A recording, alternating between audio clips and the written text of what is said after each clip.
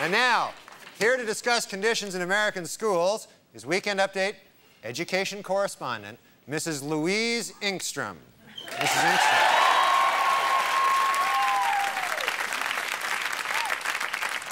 Thank you, thank you, Norman. I have been teaching grammar for the last 33 years. Period. I always make sure I have on enough red lipstick so I can look real nice for the sixth grade boys. Period.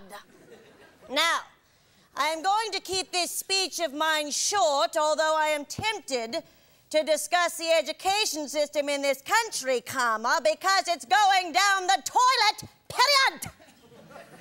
I myself have received, I before E except after C, some quote, bad press, period, end quote.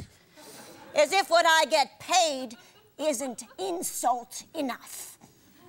Why, right now, in my district, our school board is meeting to discuss the ousting of yours truly. Now, just because I live with 27 beautiful cats, and just because maybe sometimes I don't like to mow my lawn, and just because maybe sometimes I take a grammar lesson a little too seriously, they all whisper behind my back.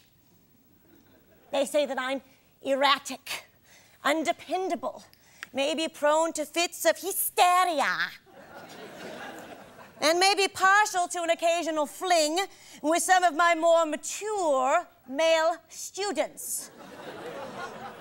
well, new paragraph, capital I. I'm here to tell you that they are wrong! Exclamation point! I am not the problem, semicolon. In fact, comma parentheses, between you and me, end parentheses, I work my little white ass off! Period! Something that those back hyphen stabbing school board idiots do not seem to be catching on to. And that underlined is this double underline colon. I am union, I have tenure, and I'm not going anywhere. Period. Let the lesson begin.